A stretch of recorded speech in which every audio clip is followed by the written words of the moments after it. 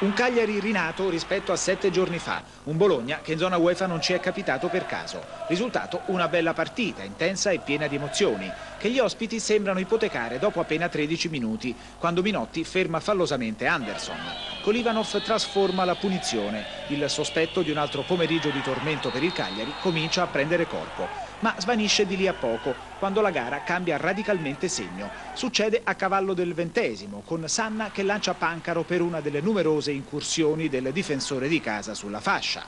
Sul suo cross Muzzi è solo a centro area. 1 a 1, ma la furia del Cagliari non si placa e un minuto dopo Tovalieri, in campo dall'inizio, finisce a terra sul contrasto con Cardone. Secondo Tombolini è rigore, Pancaro firma il 2 a 1. Il vantaggio dà serenità ai sardi, rinforzati in difesa con uno schieramento a 5 controllato da Minotti nella canonica posizione di libero. Pascolo sventa la nuova incursione di Kolivanov, ma non ha fortuna quando il suo anagramma, Scapolo, conclude in acrobazia. Dopo il palo è il portiere sardo a metterla in rete. Prima del riposo, Tovalieri ci prova su imbeccata di Sanna. Abbiamo preso contropiedi continui, vuol dire volare troppo alto e noi bisogna mantenere le distanze sempre, cosa che oggi non abbiamo fatto. Io credo che il Cagliari abbia avuto più palle gol di tutte le altre squadre che hanno giocato contro di noi.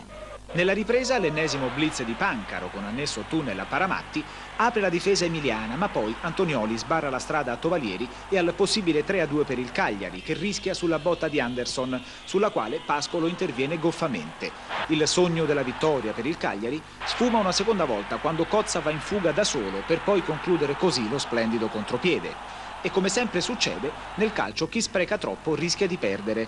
Dopo la traversa di Magoni con Pascolo fuori causa, il duo russo Shalimov-Kolivanov confeziona l'occasione che Scugugia vanifica sfiorando l'autogol.